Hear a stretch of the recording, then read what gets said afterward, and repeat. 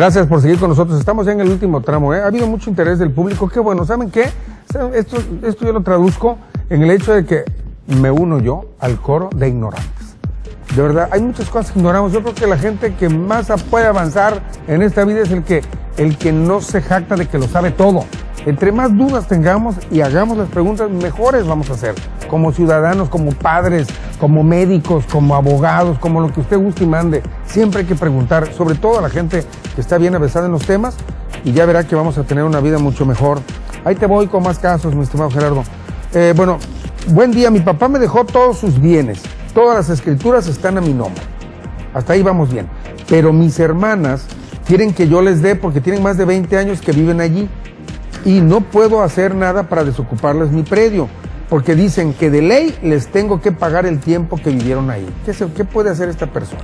Mira, habríamos que ver, la pregunta está señalada así, pero habríamos que ver si le dejó todo en testamento. Si está todo en el testamento, bueno, eh, pues difícilmente la voluntad del testador se puede modificar. Precisamente para eso es el testamento, para darle certeza jurídica a la voluntad de él. Eh, eso en el caso. Pero yo sí quiero separar esto. Mucho tiempo viviendo en un predio. Bueno, pues sí, hay instancias, se puede hacer el juicio de usucapión, usucapio, que es cuando uno puede adquirir la propiedad con el transcurso de los años. Por, por, el tiempo se hace el juicio, ¿no? Pero entonces eh, habría que llevar esto a una sí, con mucho gusto ahí en la notaría, si quieren verme, yo con mucho gusto los atiendo. Los. Muy bien. Roberto dice, tengo una empresa, somos tres socios. ¿Podemos cambiar los porcentajes de cada uno de esa empresa? ¿Y qué debemos hacer si un socio se quiere retirar? Bueno, se hace una asamblea extraordinaria, es lo que se conoce como una protocolización. Eh, en la protocolización, en el orden del día se establece primero los motivos por los cuales se está llevando a cabo la asamblea extraordinaria, se desarrolla dentro de la asamblea los planteamientos de cada uno de los socios, las razones por las cuales pues desean ya no formar parte en el caso de uno de la ah, sociedad y en el caso de los demás la modificación de los porcentajes de participación se, se señala en la asamblea y posiblemente se protocoliza, pero con la firma y la anuencia de todos. Claro, todos tienen que estar de acuerdo para que vean que no hay truco ni hay maña. Buenos días, una pregunta. Si me tienen embargado una casa por un préstamo, pero tengo una hija, ¿ella tiene derecho a embargar para que no la dejen sin casa? No. Eh, que liquide y ya posteriormente, una vez que se regularice, pues ya proceder, ¿no? Entonces, primero tiene que salir de la primera bronca que tiene, la primera deuda, y ya después ver lo, que, lo que puede hacer la hija. no hay vuelta de hoja de nada. ¿Eso también con un notario lo tiene que ver? Eh, yo le sugeriría un abogado. Un abogado. Un abogado, eh, para que lo haga. Esto es, bien, ¿qué más? Es que no es sencillo, es problemático Y, vaya, eh, por eso la sugerencia. Pues yo creo que siempre, siempre debe de haber una figura de, un abogado, ¿no? En este tipo de movimientos y todo, para que de alguna manera asesore al, cliente, a la persona. A ver, Jorge, que no se entienda, que se entienda bien. Un abogado, nosotros somos abogados sí, yo también. Lo sé, yo lo sé, yo lo sé. Pero dije que teníamos una limitante dentro de la ley, no podemos empezar a, litigar ese tipo de asuntos, ¿no? Por eso señalo y que se, a ver si me explico bien, con un abogado que tenga pues toda la autorización para poder litigar abiertamente. Sí, porque ustedes finalmente lo único que hacen es dar fe de una Formalizar actos y hechos jurídicos ante el protocolo. Pero el que anda haciendo, los que pueden hacer otra serie de cosas... son los abogados laborales, los, civilistas, los penalistas, depende del asunto, ¿no? Los laboralistas. Y no quiero dejar de mencionar a otros abogados que tengan otra asignatura. Otra, otra rama de actividad. Bien. Eh, ¿Qué más? ¿Qué más se puede? Es que de verdad que esto se presta para, para muchísimos, para muchísimos, yo creo que hasta programas, ¿eh? Una de esas vamos a tener que volverte a invitar. No, muchas gracias. Para venir al programa. ¿Qué más podemos eh, eh, arreglar? ¿Qué más podemos legalizar? Por ejemplo. En la figura de un notario. Eh, oiga, fíjense que yo me llamo Rubicel y me pusieron Ribicel. ¿Cómo? Sí, ¿qué puedo hacer?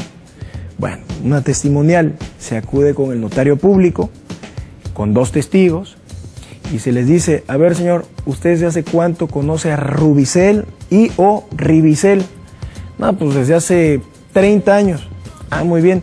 ¿Y cómo lo conoció? Oiga, usted sabía del problema que tenía y usted está consciente de que es la misma persona, le consta que es la misma persona. No, pues sí me consta. Ah, muy bien. ¿Y desde hace cuánto tiene este problema? Pues yo lo conozco hace 30, lo tiene el problema desde hace 15 que yo, que yo sepa. Ah, perfecto. Y el otro igual. Se le hacen una serie de preguntas a los testigos para que de esta manera pues, el notario de fe de que efectivamente es la misma persona y hace una, una testimonial. Y ese documento pues ha servido incluso para proteger bienes porque tienen la escritura de antecedente eh, Rubicel y la identificación tiene Ribicel. Y bueno, eh, entre otras cosas, eso es muy importante que se haga. Yo recuerdo hace, hace algunos ayeres, no muchos, mis padres tuvieron... tuvieron está joven, está joven. No, yo sé, estoy enterón, chamaco. soy un chamacón todavía. Y, lo, y está dando, fue un notario, ¿eh? Sí, cómo no. Miren, entonces mis padres tuvieron a bien eh, y haciendo todo el esfuerzo de mandarme a estudiar al extranjero.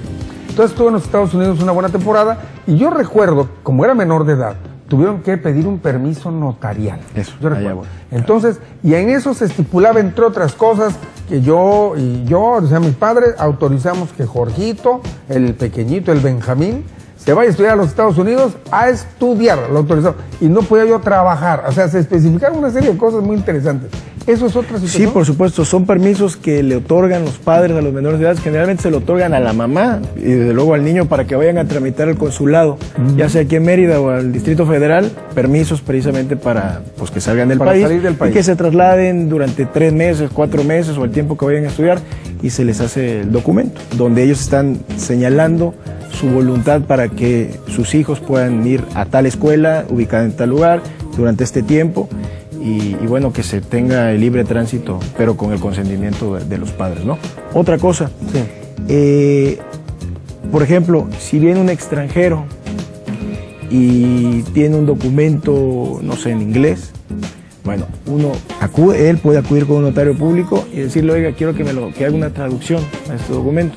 Perfecto, nosotros lo tomamos, le decimos, mire, nosotros no podemos hacer, no somos peritos eh, para traducir, pero hay peritos eh, certificados en, eh, y están las listas en la página del Tribunal Superior de Justicia de los peritos que están autorizados para poder hacer este tipo de traducciones. Se hace la traducción, ellos hacen la traducción, ponen su sello y nosotros eso lo, lo- lo certificamos. Traducción de- del- del perito. Y bueno, esto se da, se da mucho, ¿no? Hay peritos bastante, bastante preparados aquí en Tabasco y sobre todo acreditados ante el tribunal en materia de- en inglés, en portugués, en francés, Claro, en en idiomas. alemán, italiano. Vaya, es, es amplia la gama. Lo, lo comento porque no, a lo mejor no muchos saben que se puede hacer esto. Y que se debe, además, en un Claro. momento dado, ¿no? Eh, Ahora bien, ahora que mencionas esto, Gerardo, de buscar en internet, en la página del tribunal, etcétera, em, ¿hay, ¿hay la posibilidad de hacer algunos trámites por internet, vía alguna notaría? ¿Hay manera de, de acercarse a ustedes eh, y empezar quizá a, a- a- a sacar algunas dudas, a, a empezar a enviarle documentos, etcétera? ¿Vía internet se puede también? Mira, ¿O honest- esto sí tiene que ser todo papelito directo en la mano? De preferencia, de, de manera personal. De preferencia porque es el contacto directo que tienes con el cliente, con la persona. Lo conoces, te das su identificación, platicas con él, más o menos tú hablas una, una relación temporal. Eh, y bueno, eso es por una parte.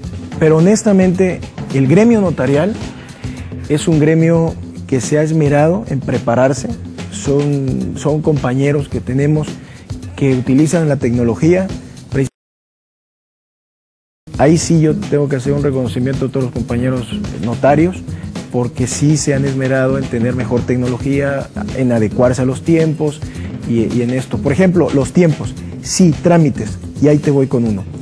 La Secretaría de Economía, concretamente la delegación en el Estado, bueno, Secretaría General, ¿no? Pero en particular la delegación aquí en el Estado, está impulsando un programa que se llama tuempresa.gov.mx. Uno si quiere hacer una empresa, ahorita que señalaba eh, esto de los de destresos, si quiere hacer una empresa y quiere evitarse el trámite de casi un mes y medio, se puede meter a tuempresa.gov, ahí llena el formato, las características, domicilios, etcétera, los documentos que se requieren, y una vez que él vea en el portal los notarios que están autorizados para hacer este, este documento, y perdón, no lo quiero, no, no quiero que escuche, pero sí lo tengo que decir. Hasta ahorita, en este momento, ¿eh? no sé mañana, ahorita la única notaría pública que está autorizada para hacer empresas en 20 minutos es la notaría 17. Humildemente. Ah, Antes de que se vaya, me están empezando a hacer las señas malvados estos. Eh, rápido, ayer leí algo acerca de la UNAM con un convenio. Sí, fíjate que se firmó un convenio de colaboración el día viernes entre el Colegio de Notarios y la- el Instituto de Investigaciones Jurídicas de la UNAM. Objetivo, ¿Cómo, ¿Cómo se traduce esto para, el- para los Objetivo, ciudadanos comunes? capacitación a los notarios, que se capaciten más los notarios, conferencias, capacitaciones, asesorías, diplomados, el inicio un del diplomado logro, notarial. Es un logro. Es un logro, desde luego, de la mesa directiva del Colegio de Notarios. ¿Quién preside, Y, eh, Miguel Cachón Álvarez. Lo- Y un logro de todos los notarios porque todos estuvimos de acuerdo en que se hiciera este convenio. Así que me parece que es muy importante hoy en día no solamente firmar un convenio, darle seguimiento al convenio y capacitarse. Y yo creo que eso fue un muy buen convenio que se firmó. Nunca se había hecho en Tabasco, al menos con un colegio de notarios. Y bueno, habla muy bien de la importancia y el deseo de los notarios de superarse y de prepararse y capacitarse cada día más. Y yo creo que aquí los, los que recibimos eh, todo vamos a ser los, los ciudadanos, los que vamos a ir con ustedes, que van a estar cada vez mejor capacitados. Sí, cómo no. Gerardo, que sea la primera de muchas visitas, por favor. Aquí te voy a comprometer, comprometer públicamente. Mínimo 17 veces. Mínimo 17 veces. No, muchas gracias, que se acuerden el número de la notaría. No, gracias. Gerardo, un placer, como siempre, saludarte, hermano. Por supuesto, Que Dios te bendiga y que te vaya muy, muy bien. Todos ustedes ya saben, ¿eh? Va con el notario que gusten. Pero si alguien les va a atender bien, con bonomía, con conocimiento y todo, y todo su equipo de trabajo. En nombre de todo el equipo técnico de producción, ojalá que esto les haya servido algo, por lo menos yo aprendí mucho. Tengan un muy buen día.